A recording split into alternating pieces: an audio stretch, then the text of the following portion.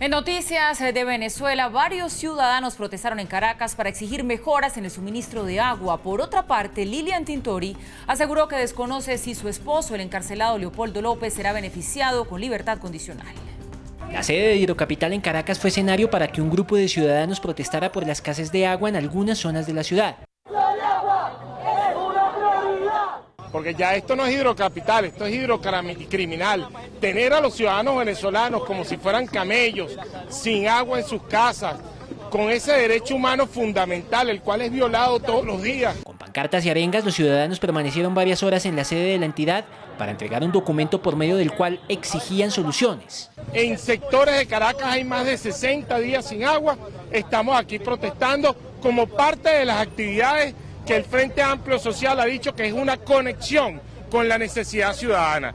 Aunque la actividad no contó con un amplio número de manifestantes, uniformados de la Policía Nacional Bolivariana llegaron al sitio para presionar algunos medios de comunicación.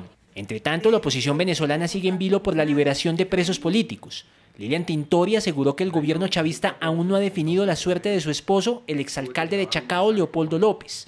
En cuatro años luchando por la libertad de Leopoldo López, que sigue preso en una medida injusta de casa por cárcel, en una medida injusta que lo califica un preso de conciencia porque no lo dejan hablar, porque constantemente lo amenazan de que lo pueden trasladar de nuevo, mi casa está rodeada de policías, con armas cortas y armas largas.